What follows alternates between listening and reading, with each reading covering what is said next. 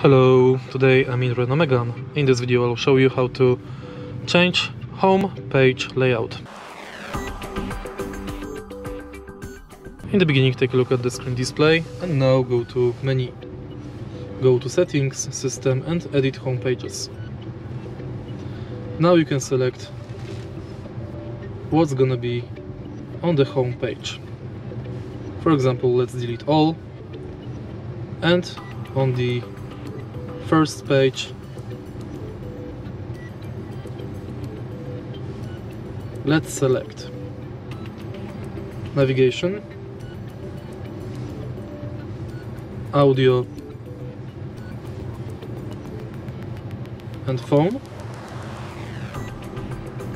Also contacts.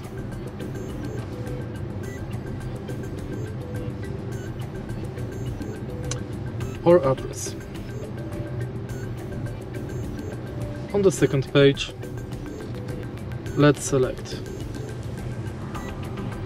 Climate control.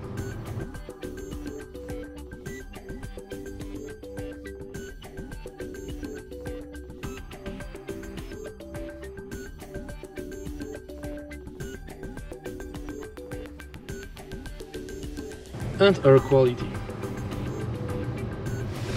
And that's basically it if you find this video helpful please leave like comment and subscribe